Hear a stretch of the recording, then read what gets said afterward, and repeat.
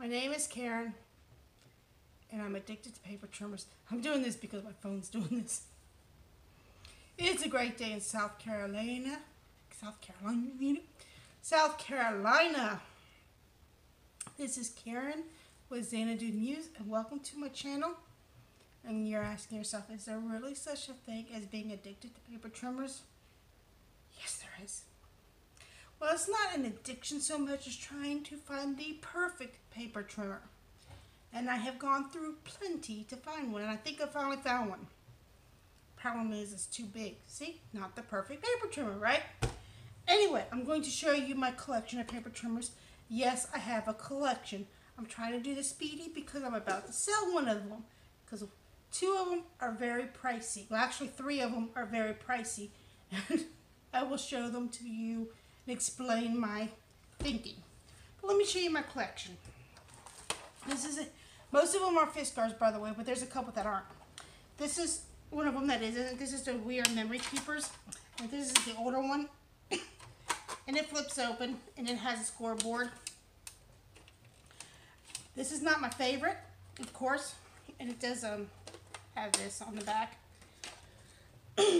and the reason it's not my favorite is because it doesn't score accurately, I don't think. It has tendency to move on you. You can't tell where the score line is according to the um, ruler. And when you want to use the score line, you have to have this open so your blade is exposed. But I keep this one because I have a box that I like to put goodies in for like traveling to my mom's house.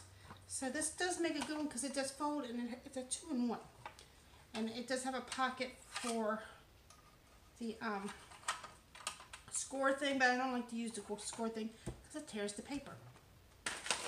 My second one, which is actually in the um, thrift store donation pile, is this one. This is a very, very old one. And it does, it does have an arm. And it's just your basic Fiskars paper trimmer. I mean, there's no, nothing fancy about it.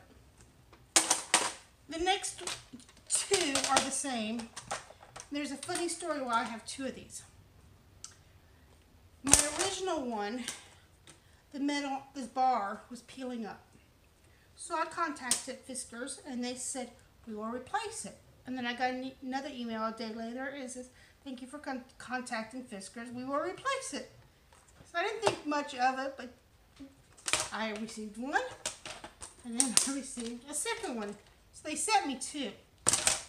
And both of these have been well loved. As you can tell, the numbers have worn off. I have used both of these thoroughly. I'm thinking about putting these in the donation pile, but there's no ruler at the bottom. They're both very good, except for the numbers have worn off. This is the replacement for that. I probably could have contacted Fiskars again, and I might just do that to see what they say for a lark. But here's its replacement. It's this one. So there's a clear plastic, so I guess they fixed that issue. Oh, did I demonstrate that this comes out? Oh. Yes, This was probably around $20. I don't remember how much the We Are Memory Keeper was. I probably paid about 15 because I got it out Tuesday morning. This one was about 30. And the arm comes out. This comes up. And let me see what else to say about it. Okay, let me tell you about the arms. This is one reason why these aren't the perfect ones. With the arms, you miss a couple of numbers. And it's usually a good, like, you get seven and a half, but we're seven three fourths. And they're all different ranges. So that's one negative about having, I just hit the shelf, having ones with arms, because you miss, it skips. So, let me show you one of my very, very, very, very first ones. It's actually one of my most expensive ones, and I even looked online and they still selling this for $70 brand new. And it's got like the one of the highest ratings. But I don't like it for two reasons. there's two parts you have to replace on it. It's this one. And the part you have to replace is the the blade, and you have to replace this. I can't this black part. And, I I'm a dummy. I didn't realize you have four opportunities to use it before you throw it away. I just don't know why I didn't think of that. Right now, I can't get it out. So, I'm thinking about putting this one in the donation pile, and the only reason it hasn't gone in there is because I have a perforation blade for this. And that's absolutely the only reason. So if I want to perforate something, I can't get that out. I need something thinner. I can change the blade on this, and this uses the um, rotary blades. That's the only reason why this hasn't made it. And it's one, another reason because I spent so much money on it. Okay, down to the last two. Oh, by the way, this is Fiskars too, isn't it? I don't see it. I'm fairly certain this is Fiskars. Even though, yeah, it's Fiskars. Like I said, all these are Fiskars except for two. Okay, down to the last two. One of these I'm selling. The funny on um, Facebook, and the funny thing is, it's a local DJ, and I did not realize she was a local. She was the local DJ on a radio station that I would listen to if I listened to the radio, but I don't. So, and it, and they had how I figured out she was a DJ is because they've been posting stuff on Facebook like questions, and I answered one. No, what it was was Hootie and the Blowfish. I'm from Irmo, Lexington, Columbia. It's all tied together. Or it's basically the same. Hootie and the Blowfish, the music group, is from Columbia, South Carolina. They were so popular that they had three concerts. They they um scheduled three concerts, and they posted on Facebook um, three ND instead of three RD. I said I never heard of a three ND. And the person responded back autocorrect, like, oh man, that's the same person who's buying this thing.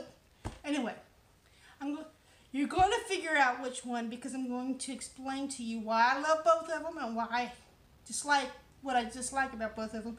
And it's going to be obvious which one I like better over the other one. I'm going to show you both first. The first one is the Cutterpillar.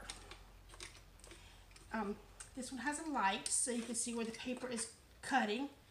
And it, full, and it runs on this track.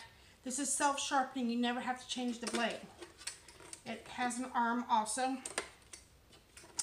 And these are over a $100, but you can get them on eBay about 70 Both of these two, you can get them at about the same price. Turn it off. Here's the next one.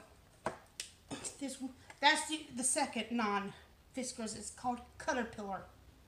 Cutterpillar. This is the last Fiskars. It's very similar to the Cutter, Cutterpillar. It does not need sharpening. And instead of having the arm, it, it folds out. But once again, you've got that um, issue with the um, numbers missing. But so does the Cutterpillar with the um, arm missing.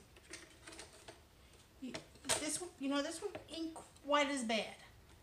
Actually, this one isn't quite as bad at missing numbers as Fiskars. So that's actually a bonus for the Cutterpillar. And a, another bonus is the Cutterpillar has the light. The Fiskars does not have the light. The two bonuses together, they never have to be sharpened. There's two blades. I'll show you on the Cutterpillar. This is one blade, and then this metal piece is a second blade. And it runs across and it sharpens itself. Okay, here's Oops, that part. Oops. Let me put back the battery compartment. There we go. Why is this not going in? I don't know. There, there it goes. I think. Oops, nope. I have to figure that out. There we go. Okay. Pretty much the same. You can get it for the same price. Pretty much it's self-sharpening.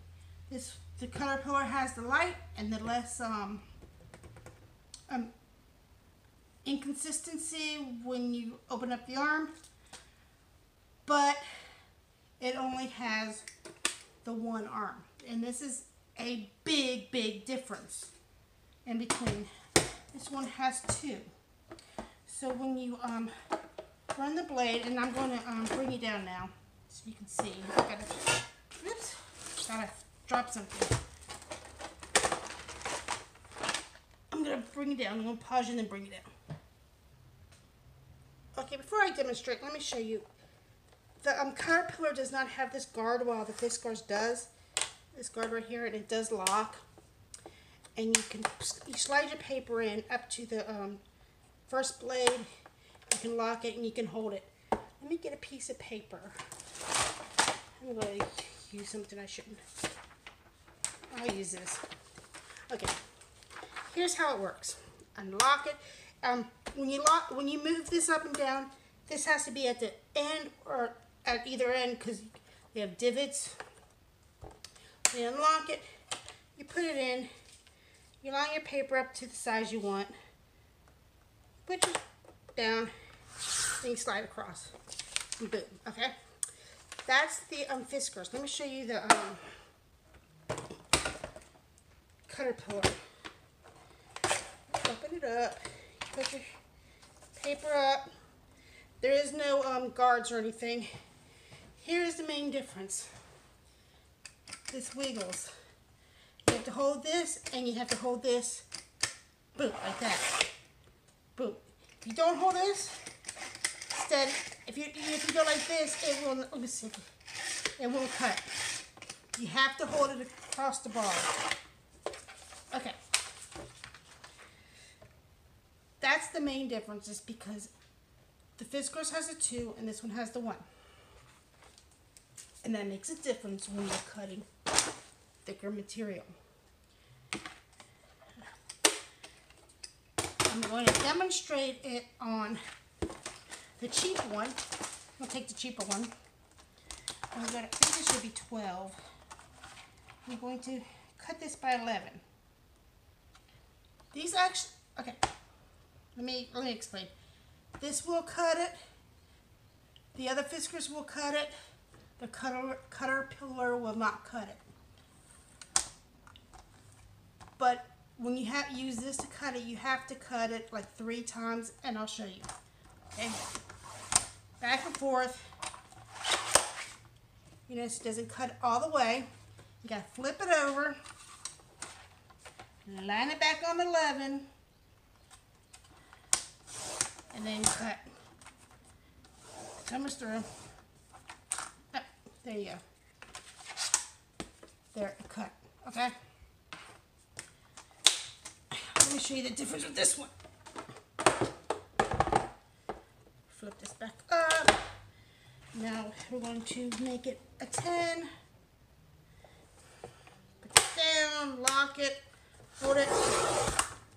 Boom, one slice. Now guess which one I'm going to keep. Because I would show you this one, but the one time I tried to cut this material on this one, this blade ended up sitting on this metal piece. And I think if it had the two bars, it wouldn't have done that because it wouldn't have been able to shift over. Which caused it to nick. Which you can see. Let me see if I can find it. Oh, here it is. Um, can you see that kind of right here? It nicked it right here. That's where it got, it got stuck sitting on that bar.